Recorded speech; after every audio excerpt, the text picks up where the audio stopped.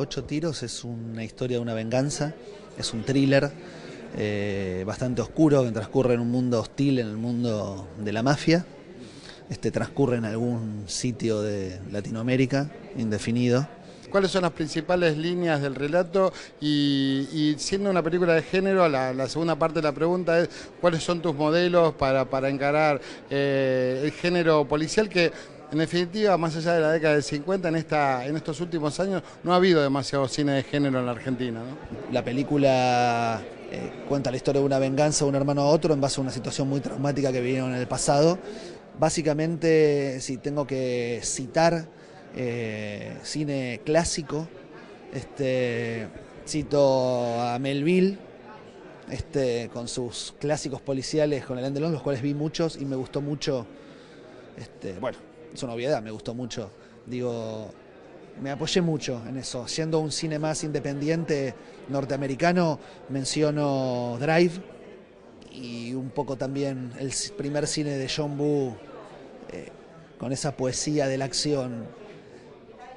¿Hay, palomas y humo?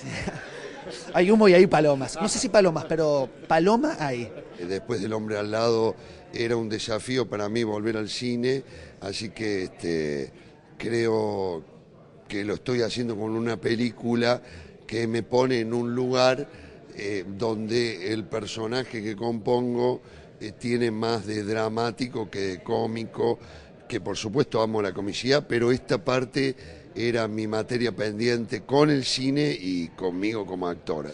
Eh, Adolfo Castelo una vez me dijo siempre guardarte, guardate una carta en la manga. Y creo que este, esta era una materia pendiente para mí, es decir, eh, la complejidad de la actuación eh, creo que en ese sentido encierra este, este desafío, el hecho de poder hacer comedia y comicidad como lo he hecho y tener ese enorme orgullo, eh, mi gran desafío era este, en este caso el thriller y el drama y el cine negro, tanto El hombre al lado, pero necesitaba afianzarme en esto porque de hecho es algo que, me encanta hacer, disfruto mucho componiendo estos personajes y a la misma vez creo que eh, llevo adelante ese desafío, ¿no?